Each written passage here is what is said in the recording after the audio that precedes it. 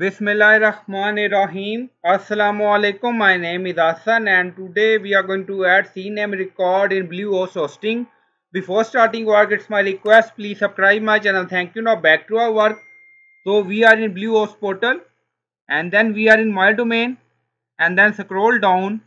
So this is our domain and we are going to add CNAME record and then you see manage button. So click on it and then scroll down you see DNS so again click on it. Now DNS setting open and scroll down find CNAME section. So we are in CNAME section and then you see add record button. So click on it and then you see different field host record point to TTL now we are going to add host record now paste. Then we are going to add value in point to now paste.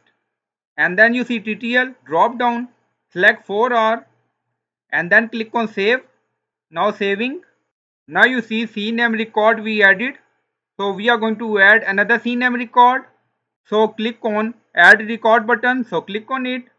Now we are going to add host record point to TTL again. Now add host record. And then we are going to add value in point to. Now paste record. And then select TTL 4R and then click on save again. Now saving.